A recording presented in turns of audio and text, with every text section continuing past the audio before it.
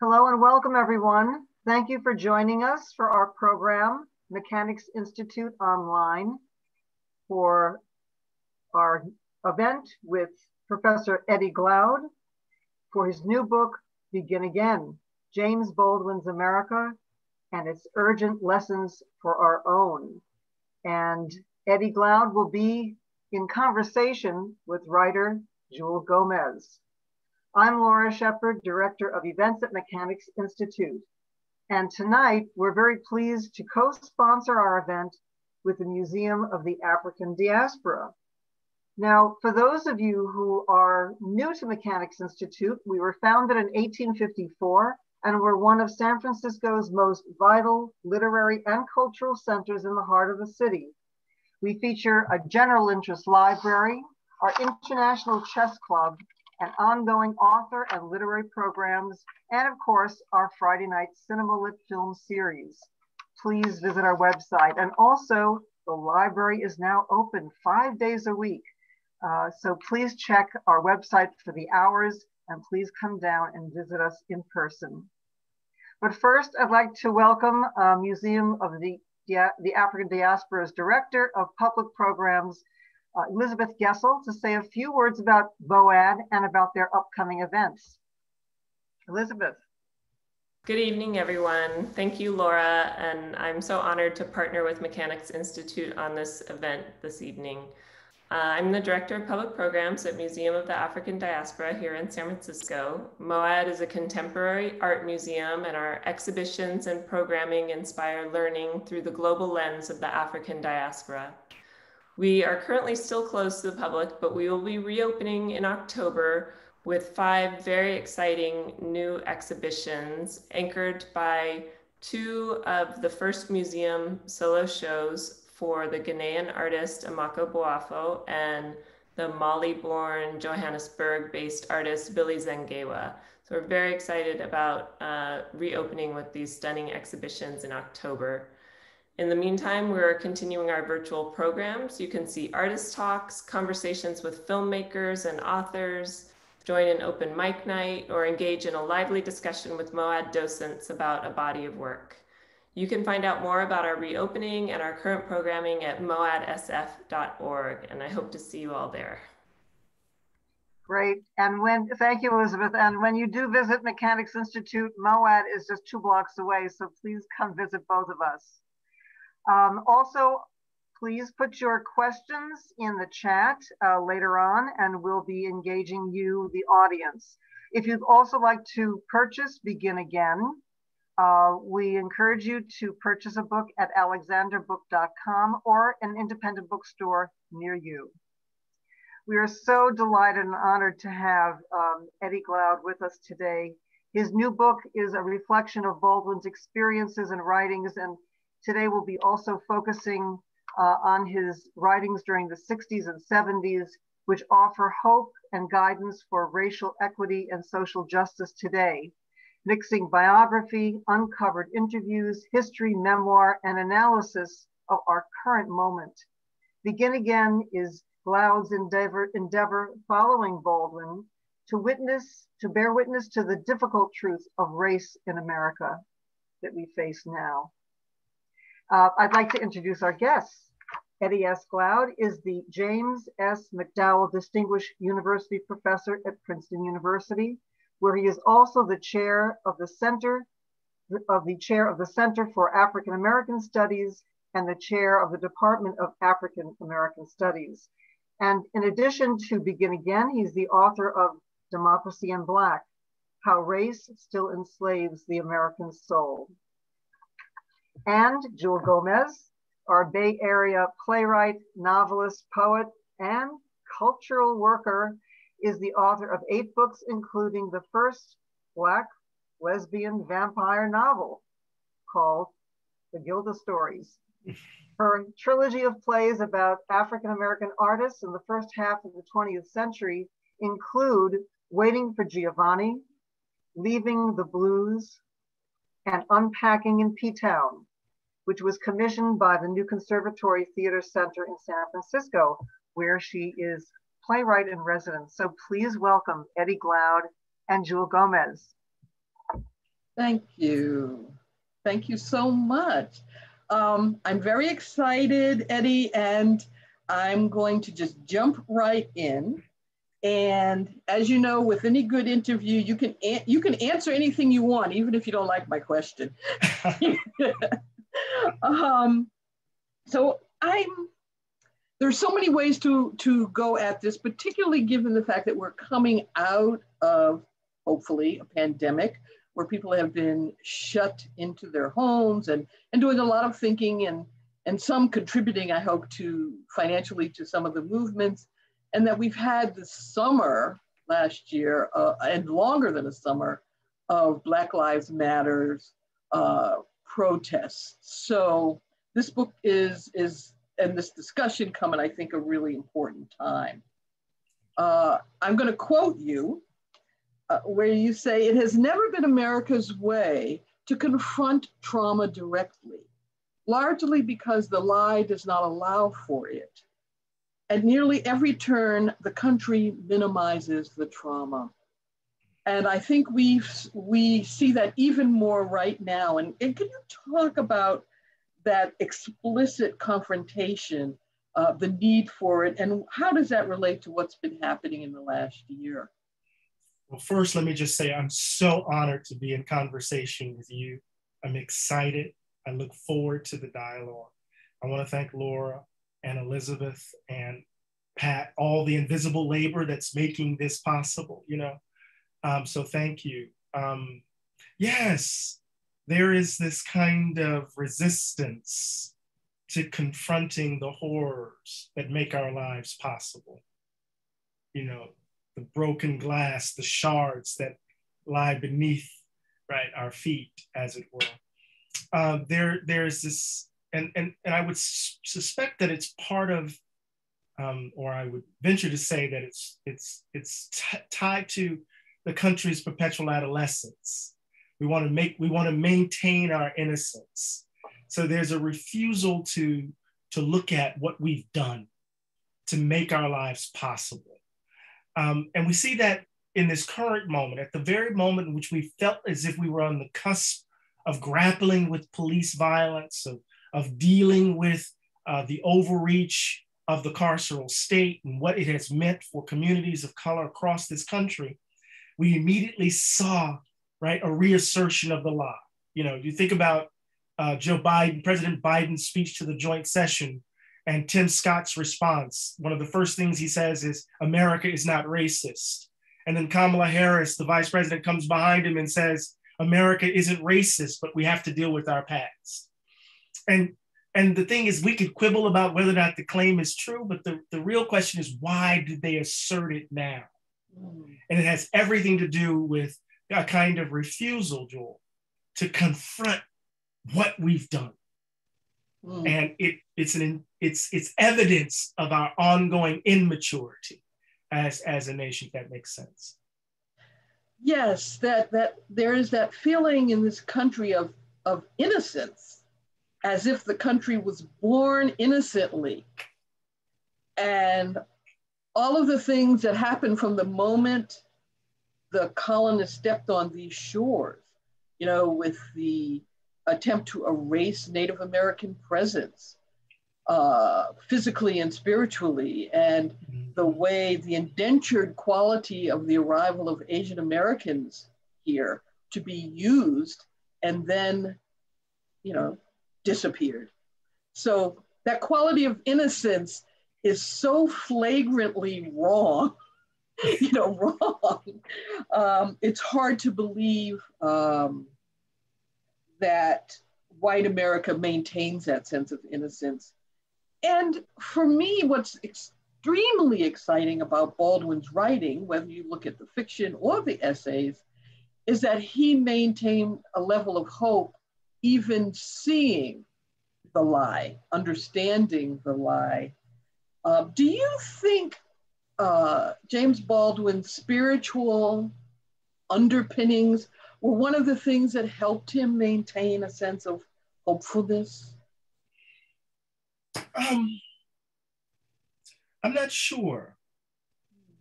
You know, there's there's that moment in 1970 Uh, you know, he had just tried to commit suicide in 69 after King's murder and another failed relationship, feeling loveless. In some ways, he fell to pieces. And in 1970s in Istanbul, an Ebony reporter interviews him and he says, he asks him a question about hope. And Baldwin gives him this big tooth smile and he says, hope is invented every day. Mm. And you know, if you have to invent hope every day, that means you're having to hold off despair every day. Right? Yeah. You're having to keep despair at arm's length every day. So I think his his his sense of hope is indebted to his religious formation, but it's also a blues-soaked hope. Right? It's a kind of it's that formulation that, that I that I that I love coming out of Du Bois's uh, souls of black folk in, in, in, in the elegy, or that what wasn't an elegy to his son, and of, you know, where he says, "A hope not hopeless, but unhopeful." Mm-hmm. Yes, A hope not hopeless, but unhopeful. Yeah. And that's yeah. that blues-soaked hope. So, you, so, so it's you know, oftentimes Americans want to read hopefulness as optimism, as if this is Pangloss in Voltaire's Candide. You know, no, this isn't this isn't the best of all possible worlds, baby. No, no, no. This is BB King's Nobody Loves Me But My Mother, and she could be jiving too.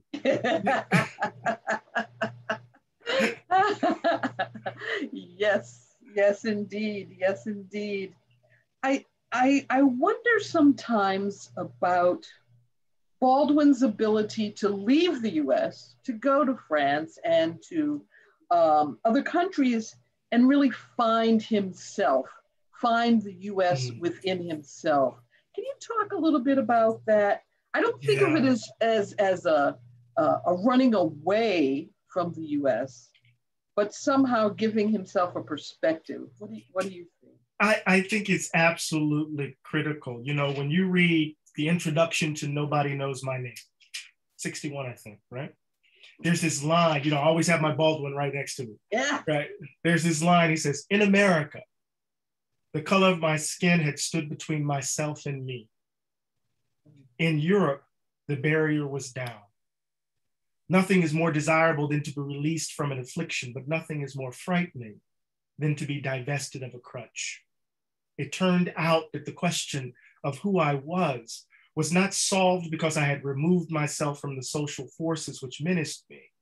Anyway, these forces had become interior, and I had dragged them across the ocean with me the question of who I was had at last become a personal question, and the answer was to be found in me. Mm-hmm. So, this is that passage in Nobody Knows My Name, which shows, right, that Baldwin is grappling with the question of identity, self identity, and self creation, right, outside of the context of the daily cuts of white supremacy in the United States. But he's, but he's still grappling with what has been deposited in his gut Mm-hmm. Yes. This sense that he's ugly, this sense that he's not lovable, this sense that he's less valued. And he's trying to, in some ways, vomit that all up. And the distance without having the temptation of trying to kill somebody. Right? Because Baldwin said he had to leave the US because either he was going to kill somebody or somebody was going to kill him. Yeah. Yeah yeah, yeah. You know, so it gave him the space to do the work to to to actually engage in this arduous task of self-creation, right? Mm-hmm. That distance was necessary, but it wasn't. He wasn't in exile. I keep saying this. He, yes, I agree. He's still reflecting on the country. He's still thinking about the country. He just needed the space to do so. Yes, and I think he also, and and I'd appreciate your thoughts on it when he was writing Giovanni's Room, many people say, well, he wrote this book and it's a gay book and it's all about white people. And in a way, for me, Giovanni's Room was another attempt to find the distance to talk about a lot of things. I mean, I think it's actual and metaphorical. You know, he's talking about poverty, he's talking about nationalism and colonialism in uh, Giovanni's room, with, wrapped up in this story of a love affair that's a, also a betrayal. And I think those are all metaphors for the US and their colonialism. Absolutely. You know, it's a love story at its at its heart, but it's a love story that's all because Baldwin is constantly trying to keep track of two things at once, it seems to me. Right? He wants to be able to to, to, to describe at a certain level of detail with the eye of the artist the material conditions of our living. But he also wants to give attention to, with detail, of the complex interiority of our living right? So this is this is at the heart of the the, the, the beef with, with Richard Wright, which leads him leads Ralph Ellison and Albert Murray to misidentify Baldwin as an ally, mm. right? Because he's saying to Richard Wright, we're not reducible to our material conditions, Richard, because if we're all bigger, then I can't account for you, right? And so Giovanni's room becomes this kind of uh, extraordinary exploration, right? Of the complexities, the perils of of love and feeling loveless, right? Within the context of a world that is deeply layered, you see. And what, what's so fascinating for me is that it's the sec- it's the second novel. I mean, you can you imagine writing Giovanni's Room in the 1950s? Early 1950s. I mean, when I interviewed Angela Davis um, about Jimmy, because what I, I I I see this, I saw this video footage of him speaking at Berkeley, mm-hmm. and Angela Davis was looking like a little. She had the look of of the smitten child, and she looked upon Jimmy, right? And and she said, in so many ways, he was out there all by himself. Mm-hmm.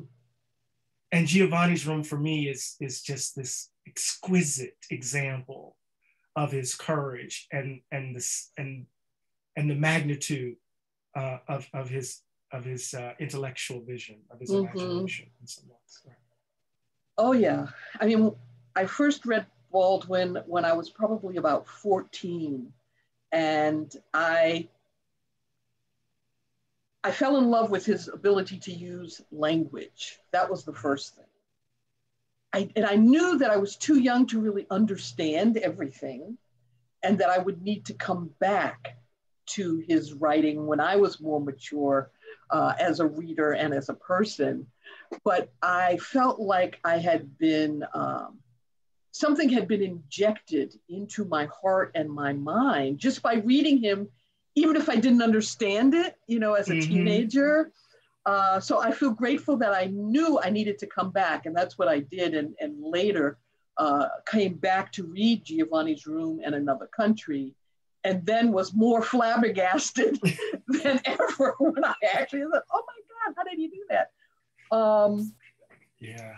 I I wonder uh, what you think uh, spurred Baldwin to leave France and come back to the U.S.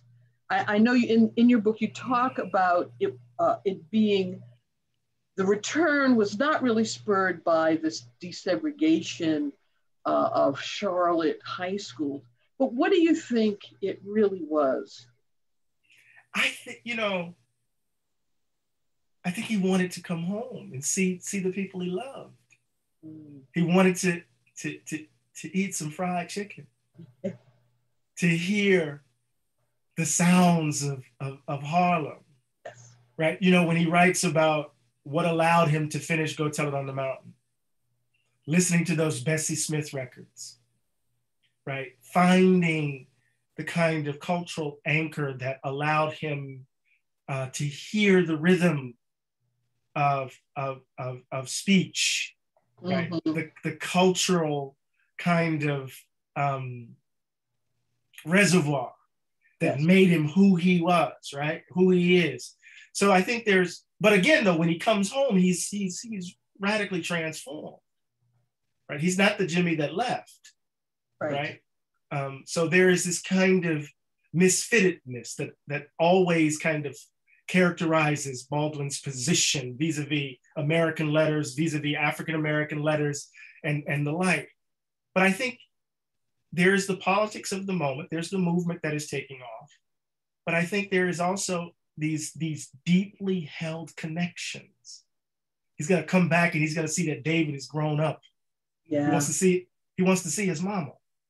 Yeah. Right? He wants to hold, he wants to hold the people that he helped raise. Yeah. And and that that's important, right? That's really important. Yeah, I agree. And, and when you talk about the after times, right. when he comes back and the the movement is in a different place. Is it moving? Is it not moving? Uh, what is his role in it? Um, what do you think that sense of that splint after times being the splintering after disruption of old ways and making of new community? What do you think James Baldwin felt was his part in it? You know, the new activists who are kind of contentious with each other. Um, where, what do you think he, he thought of his role in? You know, he's always bearing witness. Um, you know, I opened chapter one with the story of him in this apartment with the SNCC students from Howard. Mm-hmm. You know, with Michael Thelwell and Stokely Carmichael and Muriel Tillinghast. And, you know, Jimmy needed his his drink. So, you know, they had to get some bootleg liquor and they're chopping it up until the sun comes up. And he says to them, if you promise me that you won't believe what the world says about you, I promise that I will never betray you. I will never betray you. That I, Jimmy Baldwin, will never betray yeah. you. And Stokely Carmichael Kwame Ture said he never did. And Baldwin saw in the eyes of these young folk in 1963 that they had experienced raw terror in the South. And many people tend to think of Black Power as wholly separate from the civil rights movement, not understanding that many of the proponents of Black Power were actually proponents of, of, of nonviolence. Yeah. Stokely Carmichael said he only broke nonviolent discipline once, and that's mm. in the March, March Against Fear when the police attacked Dr. King. Mm-hmm. So Baldwin is trying to give an account that these young people who were screaming at the top of their lungs, Black Power, who were demanding a radical transformation, these were America's children, and that they could not be tossed aside. And so I think what he was trying to do is to give an account, to give an account of what happened, where America couldn't absorb right our struggles into its its triumphant story that secured its innocence but to tell the truth about what happened that's why no name in the street is such an important book to me. Because mm. no name in no name in the street Jewelle is the spine of begin again. Mm-hmm. and it's the first book he writes after king's assassination. Yes yes. And he and he calls it this mighty motherfucker. Because he's hmm. trying it almost killed it because he's trying to give this account. And part of what he's trying to do, right, is tell a story of wound, of trauma, of fragmented memory, of betrayal. He's trying to pick up the pieces. Mm-hmm. And so, to answer your question in, in, in a direct way, he's trying to bear witness in such a way that we could gather ourselves up in the face of the country's betrayal and raise our babies. Mm-hmm. Right? Because he knows, he sees Reagan on the horizon in 63. Yeah. He sees it. He sees it. He sees what's ahead of these young people when he's talking to them in that apartment in yeah. 1963, you know. In um, the sense of trauma and that you say trauma, witness and trauma are inextricably linked.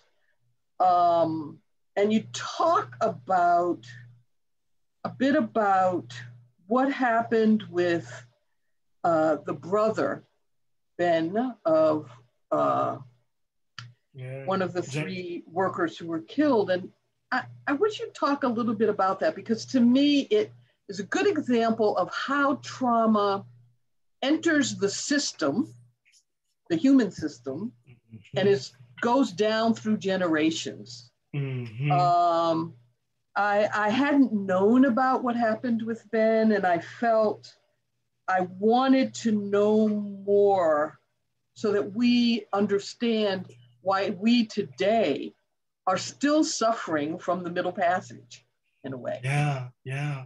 You know, there's, you know, I remember watching Eyes on the Prize, mm.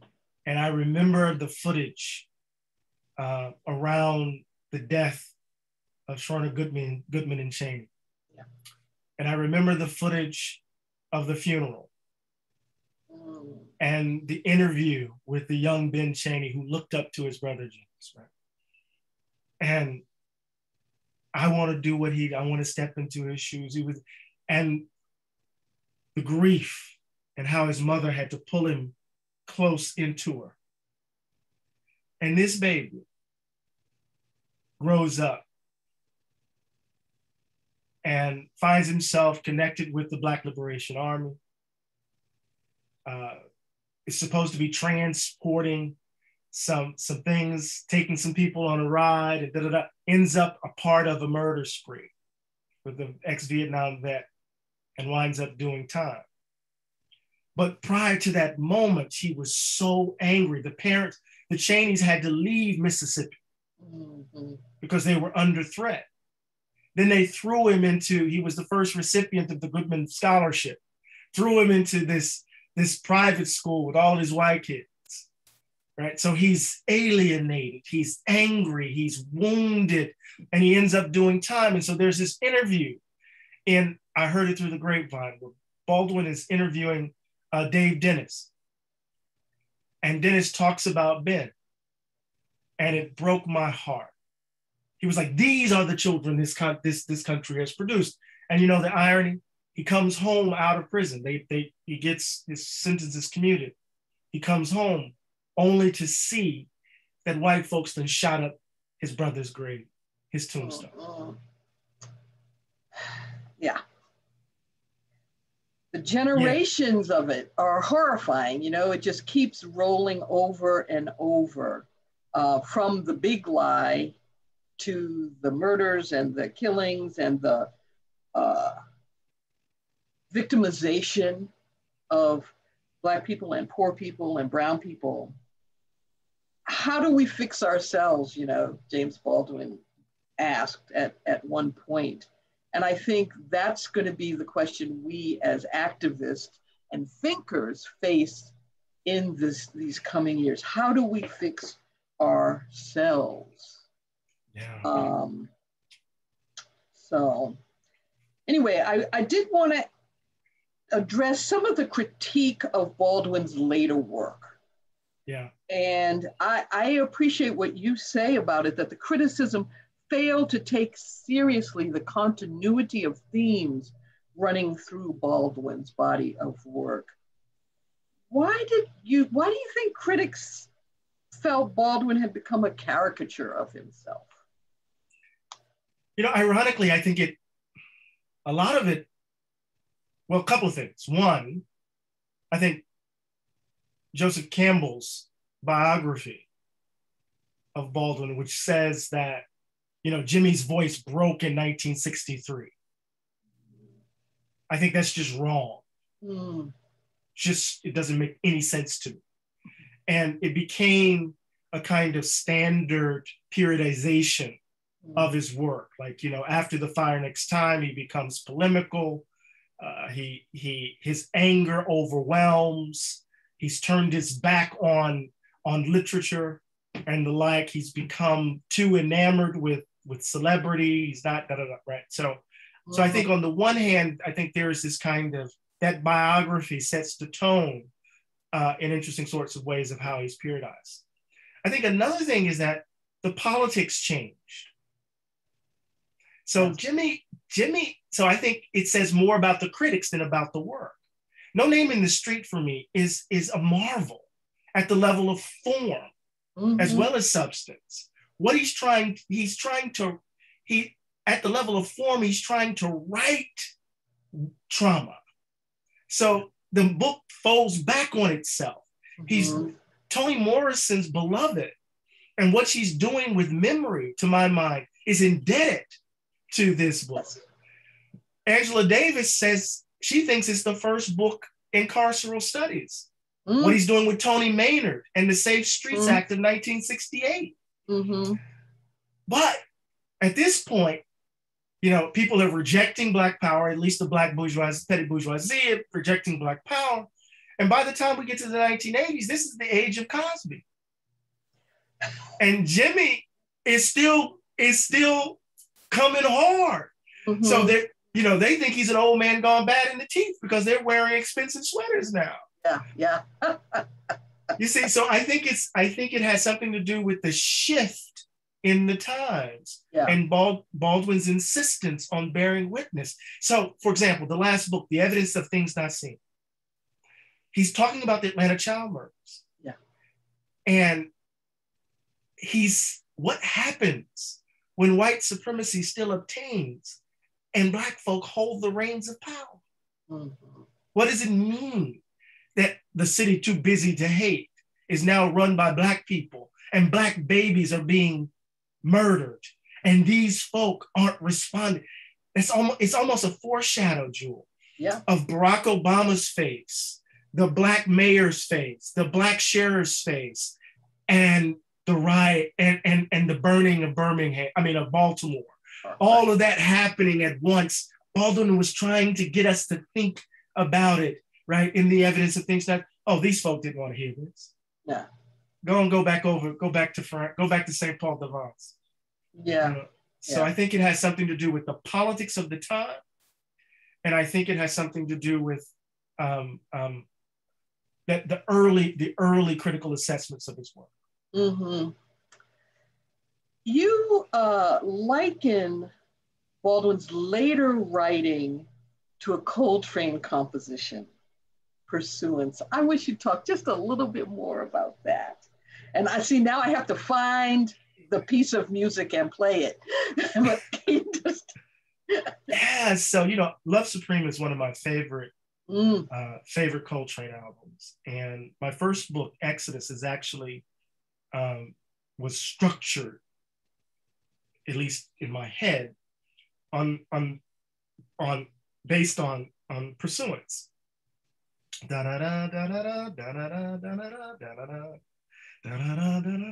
So that's and what what what Coltrane does is a series of chordal combinations, so that by the time you get to the end of that track, it's almost it's you almost can't recognize it. It's almost sheets of sound, right?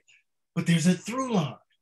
So there's a part of what I'm, I was trying to say is that if you pay attention, if you what you think is screaming and rage, there, there, there is right this this continuity that mm-hmm. there's this this this theme that is being played that is that is at the heart of, of the reflection. So even when it seems at its most discordant, yeah, right, it is still the, the, the central beauty in the Aristotelian sense, in the ancient sense. Mm-hmm. It is still the beautiful formulation that, that defines Baldwin's corpus. So what I was trying to do is to get people to move from the sound of notes of native son, yeah. right? In order to understand the sound of no name and devil finds work and evidence of things not seen. Yeah. Yeah. Yeah. Yeah. Well, we'll all be downloading some Coltrane tonight. um, it, you know, at one point early on, um, Huey P. Newton yeah. said in, in, in the Black Panther Party newspaper that the party is going to have to learn to align itself with other movements, the gay movement, women's movement, to create kind of coalitions in order to uh, be successful. And he did that at a very early time, uh, and people really ignored him. it was really, really sad. Um, and I think, I, I wonder how much of subsequent Black radicals' uh, dislike or distrust of Baldwin can be attributed to their feelings about homosexuality um, and, or their identity with hypermasculinity, you know, which is all, of course, in response to how Black men and Black women were sexualized by the dominant culture. So I, am not saying hypersexuality as a, a, a, curse word as much as understanding it's a response to something. But I, I wonder about that homosexuality was so frightening to a lot of us in the Black community, it made for distrust of Baldwin. Yeah, I think so. I mean, I mean, this is one of the failures I think of the book because I couldn't quite figure out how to do this, how to write about sexuality mm. um, and Baldwin uh, in a way that would fit with what I was trying to do at the level of form with biography, literary, because it, it, the, the, the, the attempts that I did, it just, it became too academic. Yeah. Um, but let me just, so that's, that's just me just saying that it's one of the failings of the book. Um, but Baldwin was misfitted because he was queering everything that he was, every, every time he entered into a space, he queered it. Yeah. And, and I use that in a, in a, in a technical sense, right?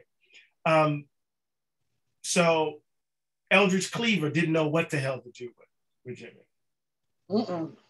Um, and Jimmy was hurt. I mean, he was hurt by what El- Eldridge Cleaver said about it.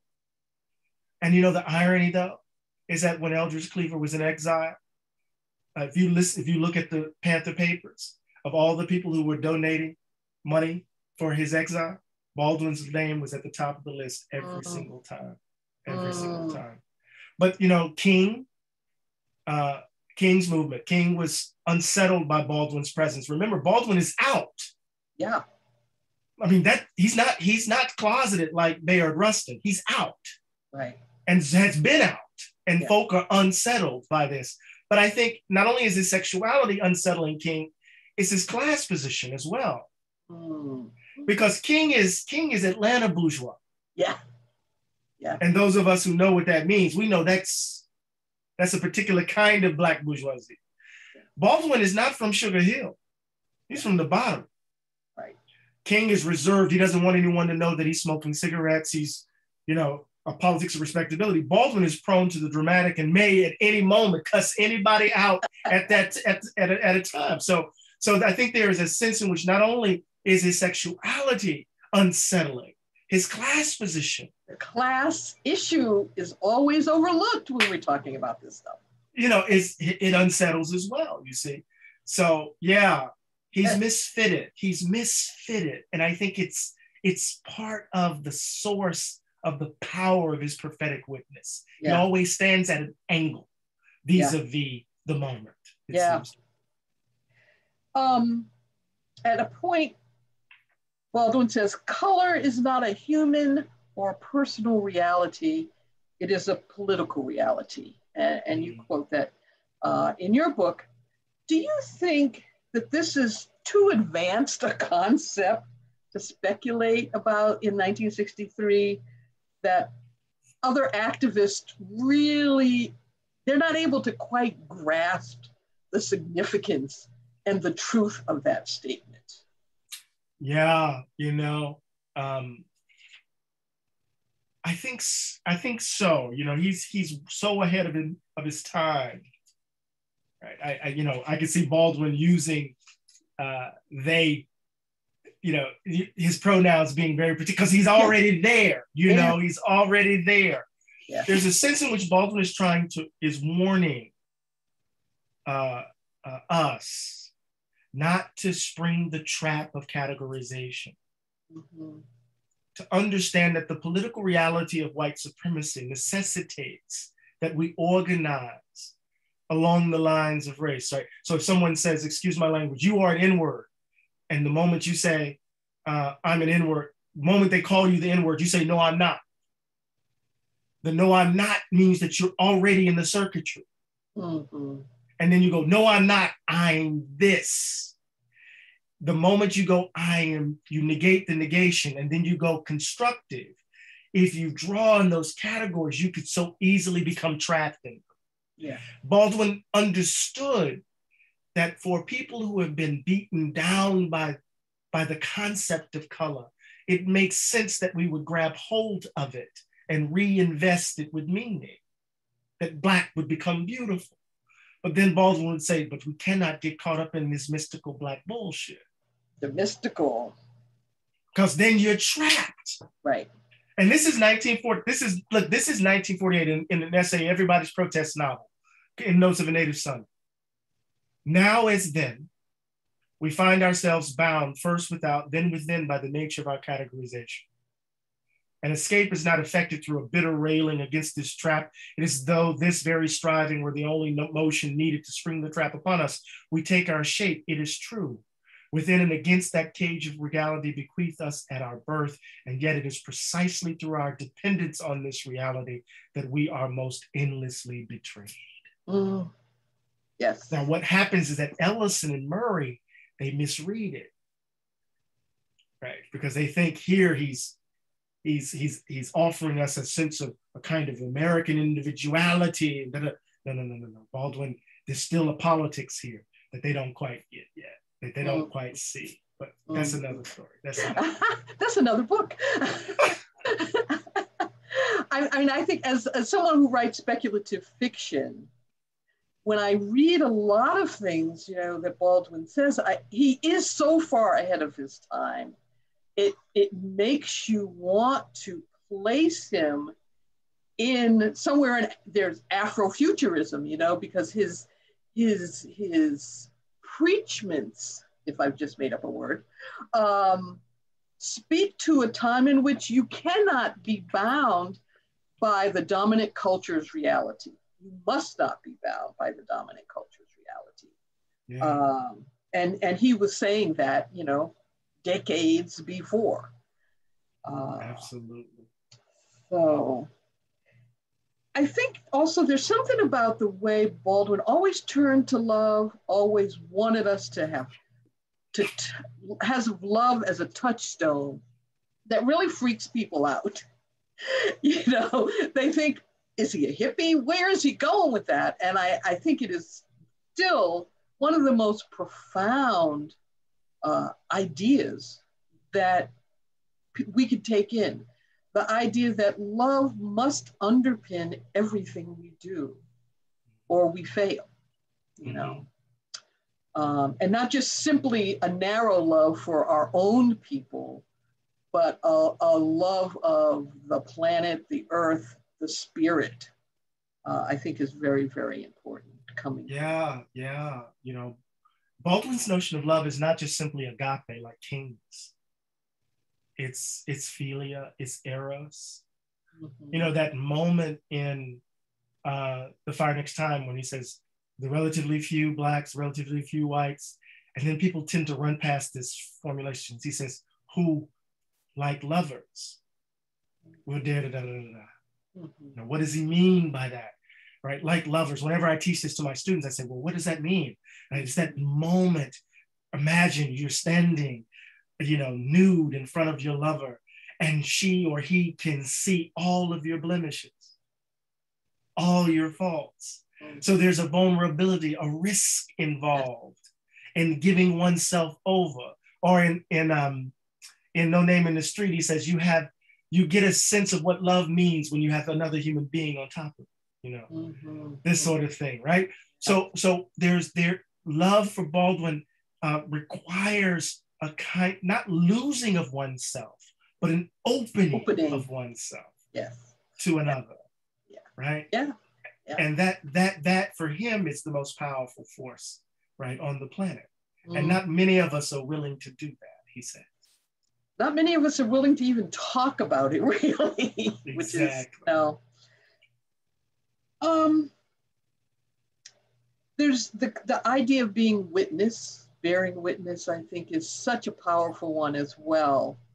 And when I think about the young woman, Darnella Frazier, who took that video of George Floyd's murder, you know, and we make fun of teenagers always having their phones and, you know, mm. taking pictures. I just think of her as someone who intrinsically, inherently, maybe not even consciously, knew she had to bear witness to this murder. And that by doing so, she helped a nation bear witness to what was going on uh, in our country and, and help to open up a whole idea about social change, you know, that we've been avoiding, you know, as as Baldwin said, it's not a Negro problem, it's a white problem. And I think her, uh, Darnella Frazier's bearing witness repointed us into that understanding. This is a white problem that we have to address. Mm-hmm. Um, how do you how do you think about our addressing it? It's so huge. The magnitude of the lies, the history. What are some of the things you think about when you think about how I know that's a big question. I know that's a big question. But um, as writer, think about it just as a writer. You as a writer, me as a writer, how do we as writers think about addressing the, You know, the, there's this line in, in Baldwin's essay, he wrote it in 1962, you know, as much truth as one can bear. Mm-hmm. That, that the writer, the novelist, the artist, he says, must tell the truth and then a little bit more. Mm, mm-hmm. So part of what we have to do as as poets in in in the Emersonian sense of what the poet is, right, mm-hmm. is that we have to offer languages, offer ways of seeing that yes. break loose, that break that that enable people to imagine beyond the opacity of now, to yes. see the world differently, right? So in your speculative fiction. You know, it's like I just finished reading Parable of the Sower, mm. and I was uh, rereading Parable of the Sower, and and and I was thinking about uh, Parable of the Sower alongside of Cormac McCarthy's The Road. The Road, yeah. And thinking about how differently they end. Yes. Both end with death, but there's a burial, there's a communal burial, there's a way in which a certain way of telling the story a certain way of how we're going to commune with our dead, how we're going to carry our dead forward. Not closure, but and what happens, how individualized McCart- Cormac McCarthy's is in interesting yeah. sorts of ways, right? Yeah. So part of what we have to do as artists, as writers, is to really, I think, offer up ways of imagining the world differently. Yes. Because as as as Shelley says, imagine, you know, the imagination is is the source of the good. Mm, mm, yeah, yes, I love that. I love that. Well, I know that you have you said in your book that, and I I hesitate to say this name out loud, but so I won't. The former president, number forty-five, um, is not exceptional, but is rather a part of a long line of continuing you know, the lie are there ways institutionally that we might be able to keep history in front of us? Uh, you know, and as a teacher, yes, you would. Yeah. Yeah, I think so. You know, and I see Lori, Lori just showed up. Could yeah. kind of let us know? Yeah. Um, um, uh, I think so, and that's why I kind of ended with um, my trip to the Legacy Museum and, mm-hmm. and the mm-hmm. lynching memorial right? There is something very different about what Bryan Stevenson has tried to do. It's not about, you know, this triumphalist narrative that actually defines, you know, self, the, the tourist industry of civil rights, of the civil rights movement. It stands, you know, in a different relationship. When you go to Montgomery, it, it doesn't fit with the civil rights narrative in, yeah. in, in an easy way because it is trying to get us to confront our dead. Right? Yeah. That that that the lynching memorial isn't about triumph, it's about the horrors, what we're capable of. And what does it mean to remember that? And that is that is public history. Yeah. Right? That is institutionalized. And it matters. And it matters that it's in Montgomery. Mm. Right? It matters that it's there. And as, as Bryan Stevenson says, which I love, he says, truth and reconciliation is sequential. First, you have to tell mm. the truth in order for us to reconcile. And reconciliation becomes the condition for repair. So I love that. I love that.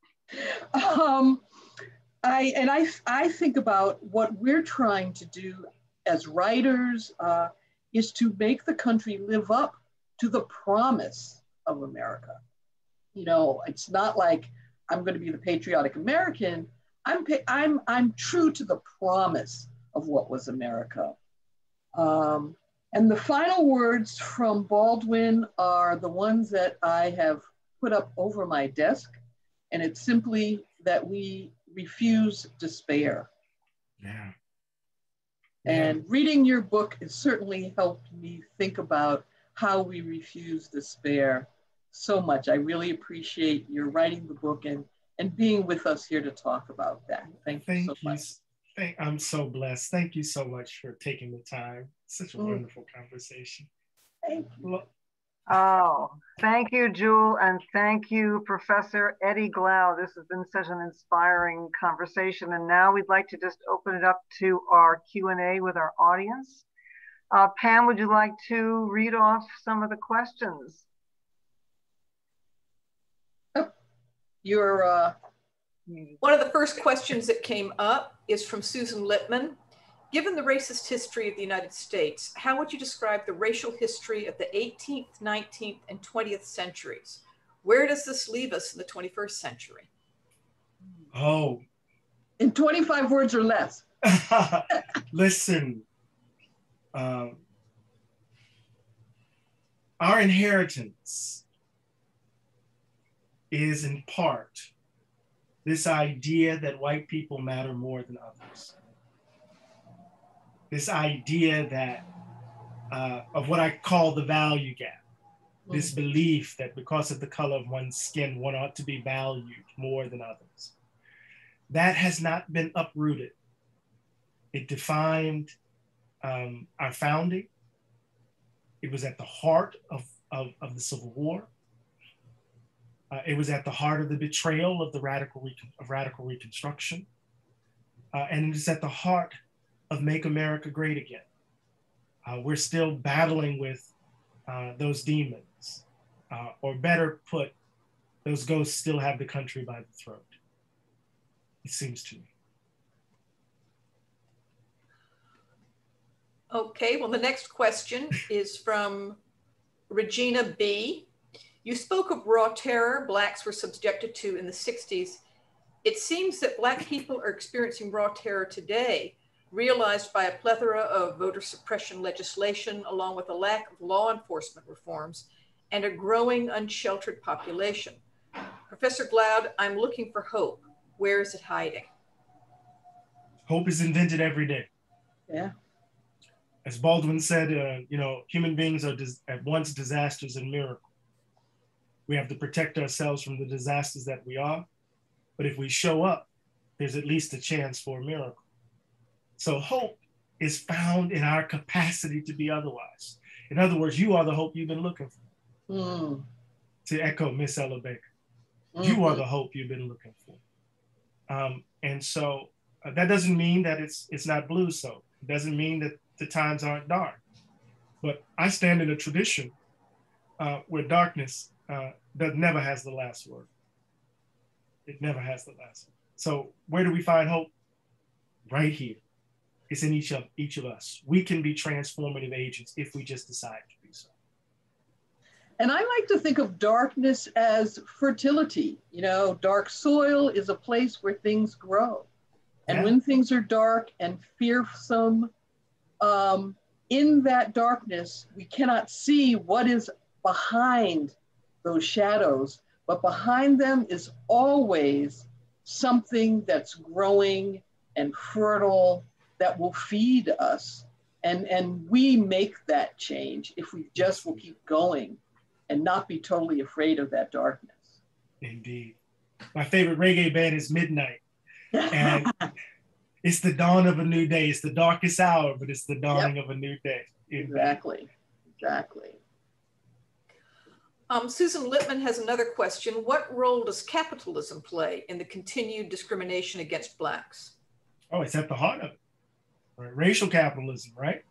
There's a sense in which modern capitalism takes shape in the context of the transatlantic slave trade, which has everything to do with a set of presuppositions about the disposability of people, of human beings, and the justifications, right, around that disposability, right?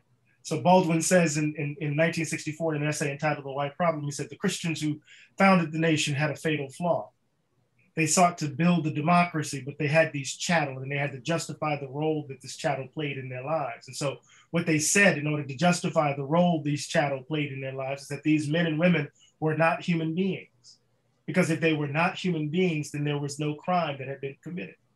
And then Baldwin says that lie is the basis of our present trouble. So they're intimately connected. Or as the late Stuart Hall would put it, you know, race is the modality through which class is experienced in the United States. Yeah. So, Yeah, yeah. Does that make sense, Jewelle? Oh, absolutely, absolutely. It's, you know, if we're going to be the coin of the realm, if people are going to be the coin of the realm, then we have to break down that realm so those coins cannot be used.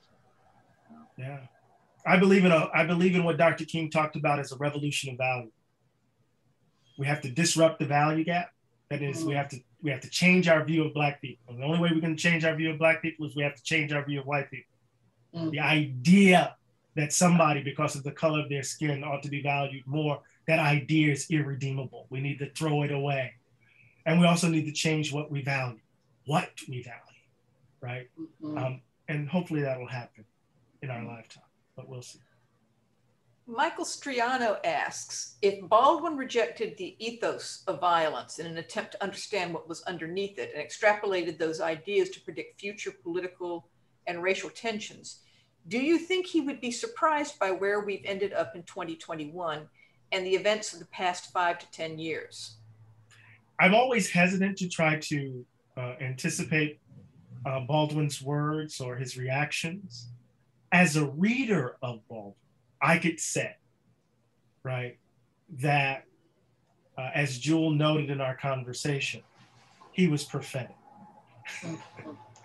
we're, we're, we're still grappling with the very thing he was trying uh, to, to, to explicate, to understand, to give an account of. So that's my short answer to that very uh, nuanced question. And I will, I have to say this, Michael Striano, who asked that question, is a wonderful actor in New York who played the spirit of Giovanni in my play. Oh, that's So wonderful. all during rehearsals and, and the run of the play, he and I had fantastic Baldwin conversations. And uh, so I really appreciate him being here and he's still got some great questions coming. He's so thank- still that was you, wonderful. He, he was magnificent in, in the play. Um, thank you, Michael. Well, there's a question. Actually, it's kind of the two people have asked basically the same question uh, Barbara Swan and Michelle. Can you speak about the writers that Baldwin read and admired? And Michelle asks, which writers influenced James Baldwin? Hmm. Oh, his library is expansive. Um, obviously, there's Henry James. Um, in my recent interview with the New York Times, I, I don't, I can't, I don't have Baldwin's love of Henry James. I prefer his brother William. Um, um, so there's Henry James, there's um, Marcel, there's Proust. Proust is important. Of course, there's the King James Bible. There's the way in which he's engaging um, uh, the classic American writers as well. Uh, you know, Baldwin, Baldwin's library isn't. I haven't people haven't. I haven't had a chance to get my hands on Hmm. in in a way. But there's also evidence of his engagement with Whitman, his engagement with Emerson. Um, so, you know, he is reading all of the classics, uh, and they show up. Jewelle, you want to try to answer some of that as well, or no? I, you know, I think, of course, he was good friends with Lorraine Hansberry. Of course, yeah, they're partners. So it really influenced him in his playwriting.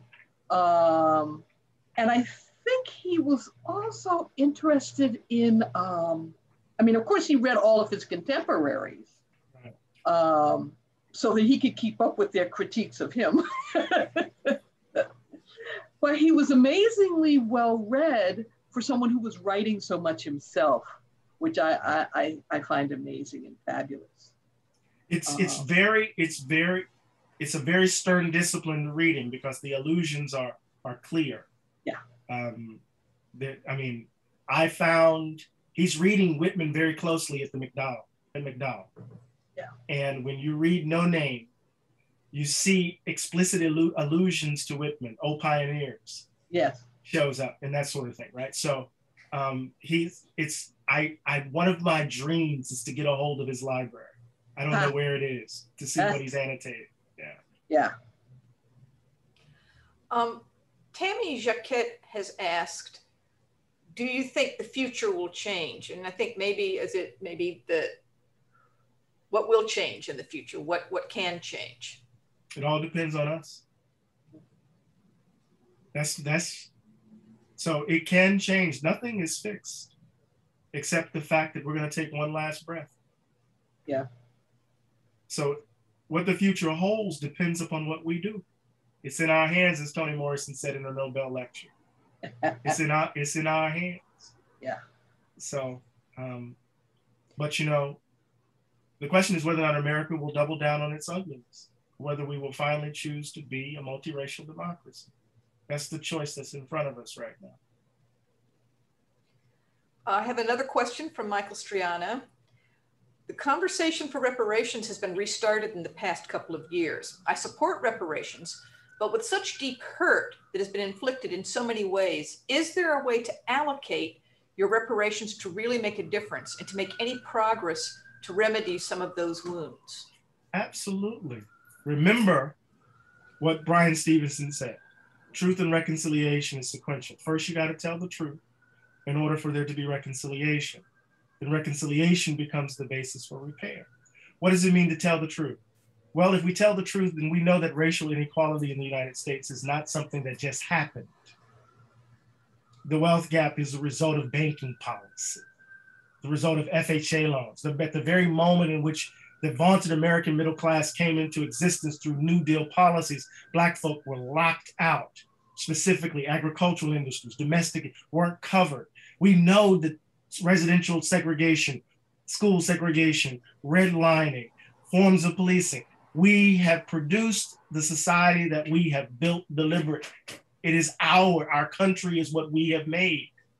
So once we concede that, we have to be just as deliberate in dismantling it as we were in creating it. That's that's the move we have to make. And if we make that move, then we won't be lifting all boats. We will be trying specifically to remedy, right, the ways in which racial inequality saturate, right, our society. And it's going to be it's going to be a long haul because we're going to have to rebuild the country. Rebuild. Because the because the built environment reflects racial inequality our zoning laws, our neighborhoods. We're gonna have to build the country differently, and that's gonna that's gonna take a that's gonna go happen. It's gonna take in order for that to happen. It's gonna be well beyond our lifetimes. Yes, I agree. I mean, it's like trying to patch a leak in the roof without going down to the studs and seeing where the, the problems are. And I think that's It'll be generations from now, but I think it's worth the effort. Absolutely. So there's a question, another question from Regina B. Will you comment on the controversy surrounding critical race theory and is it included in your curriculum at Princeton? So critical race theory, uh, as uh, uh, an intellectual project, is typically uh, located in law schools. Uh, it, it is tied to critical legal studies. Uh, what we have to be clear is that the current debate around critical race theory is uh, a red herring that has been created by the right, a right wing uh, cabal trying to distract us from uh, the all out assault on voting that's happening in the country.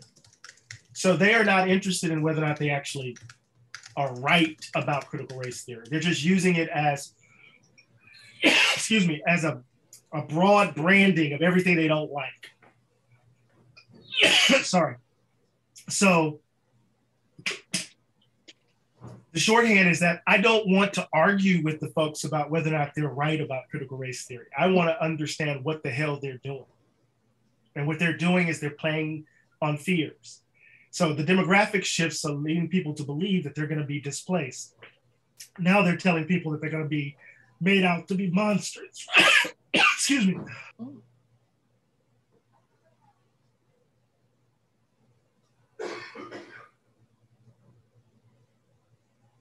Sounds like a hay fever cough to me. some water, maybe some water went down the wrong way. Yeah, yeah. Um, I would I would agree with uh, Eddie that there's a it's like a magician's trick to distract you with one thing, one issue, and you really don't talk about uh, what the real core issues are. And if we think about voting rights and if we think about redlining and uh, incarceration from, you know, the, the whole uh, from school to prison pipeline, then we, we understand what is critical is getting to the basic point of having a multiracial country, a multi-ethnic country, and that this argument about critical race theory is simply a distraction from all of those issues. Um, you know, that we as non-academics, we just read the headlines and we get distracted by that, uh, that caution that we're supposed to take around intellectual ideas like that. So. Oh my goodness. Welcome back. Sorry. Glad to see you back, sir. Well, I was really amazed that in Evanston, Illinois, the city of, El of Evanston is going to be giving reparations from their community. Uh, that was just announced about two days ago. And um, I, I'm not sure which channel I saw this on, maybe it was on Amanpour, but I was really amazed and so pleased to see this. And, um, you know, who knows if this can be a modeling for really understanding the past and bringing the past into the present, and also that it ties in with the responsibility of capitalism in promoting racism from the very beginning. So um, that was just something that's come up in the news that's been quite potent. Also, uh, um, Eddie, I wanted to ask you about, since you were involved in the Academy of uh, Religious Scholars, if you have continued connection with that organization. I ju we just saw the head, one of the heads of the Baptist church resign because of all of the you know, racism and rhetoric that's going on. And I'm wondering if there's, if you see any uh, support through the faith community to make changes in this country from, from the grassroots. Oh, absolutely. When you think of what Bishop Barber is doing with the Poor People's Campaign, yeah. um, it is a mobilization of progressive Christians uh, in response to evangelical uh, support of Trumpism. Yeah. So, absolutely, absolutely. I apologize. Something. Okay. Uh, there's, there is one. Hey, there is one more question, um, and it is. Uh, hold on. It is from Princeton. Uh-huh. You know the current state condition of James Baldwin's home in France. Is Baldwin honored and loved in France? Baldwin is loved and honored in France, but his home is being turned into luxury apartments. Right. With Capitalism. A plaque. With a little plaque and you know, certain part his study is supposed to right. be salvaged, but it's it's luxury departments with the panoramic view. That's what I saw. Yeah. We got to start writing letters. too, it's too late. too late. They've already torn it right. And people did try, but it was already too late. Yeah. I think the, the the greatest tribute that we can give to James Baldwin is one that Eddie Glaude has, has uh, contributed to, which is writing about his work, his ideas, and letting each subsequent generation know how significant he and his ideas are to our survival as a hmm. people and as a nation. Indeed. Thank you so much, Jewelle. Appreciate thank it. you. This is really I want to thank both of you, Jewelle and Eddie, for the most inspiring and incredibly powerful conversation tonight. I'm, I'm just totally overwhelmed and pleased and we'll continue reading James Baldwin's work and reading your work, Eddie, and your work, Jewelle, uh, in all of its forms. and continue to, to look inside, to make the changes that we need to make and to be active, to be activists and voices uh, for racial justice and social justice uh, in this country. And I, I hope that everyone here tonight has been inspired to, to do the same. And we look forward to more conversations um, as we go. Um, come back to the library. Mechanics Institute is open. Uh, come back to our programs when we start up live in the fall. Be safe, be healthy, and we'll say a good night and be well. Thank you. Stay safe, everybody. Thank you, Thank Jewelle. you very much. Thank you, Laura. Thank you, Thank Elizabeth. you. Take care. Thank you to MoAD and to Elizabeth Gessel for hosting with us once again. Thank you. Thank you both for such an amazing conversation. I'm so Thank you. inspired. Take care. Okay, I'm gonna I'm gonna go ahead and close the doors. It was great, you know. I think it's really wonderful uh, conversation. I hope everybody will watch our um, for our. We will have a recording of this posted on our YouTube account. Fabulous. Thank you. Bye. Take care. Bye-bye.